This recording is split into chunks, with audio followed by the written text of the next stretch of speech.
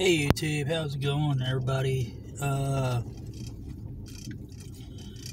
I'm gonna go see a buddy of mine I hadn't seen for about three three weeks now. Uh, been really busy lately. I haven't been over to see him. Um, but I messaged him last weekend. He said he had something planned. So I decided, well,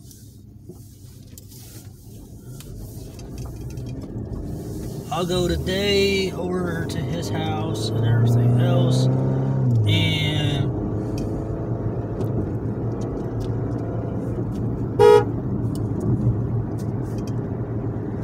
and sorry, I was honking at my neighbors.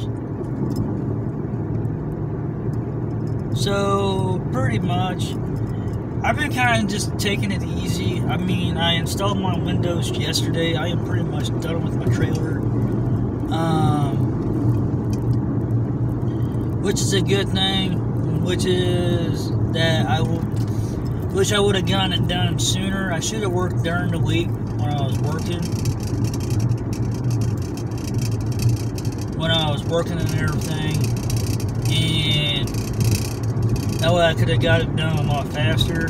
But the only time I had was weekends, and I needed during the week, you know, to do my workouts, do my videos, you know, for everybody and stuff like that.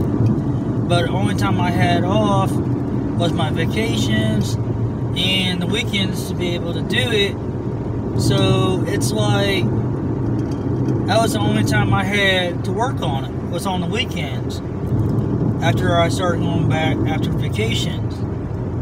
So it took me a little longer than what I expect. So if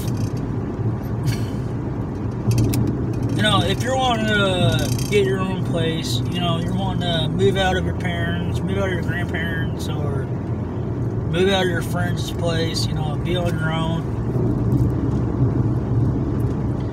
stuff like that, then I would just start saving up money. You know, you can buy trailers really cheap now. I bought my trailer for five thousand seven hundred dollars. I may put over I want to say a thousand grand into it.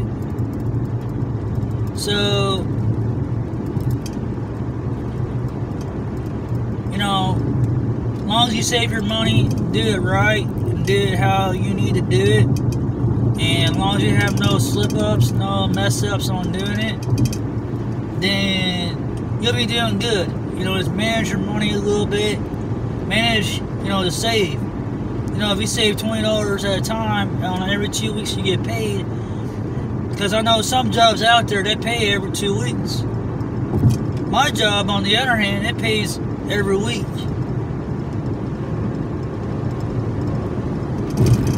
It pays every week to get to, you know, on, on a paycheck. It don't make you wait every two weeks to get paid. So just depends on where who you work for. Sometimes some some places will wait a month till you get paid because of the contract. So if you think, you know, you can't save money and all that, I don't care if you do have kids or not.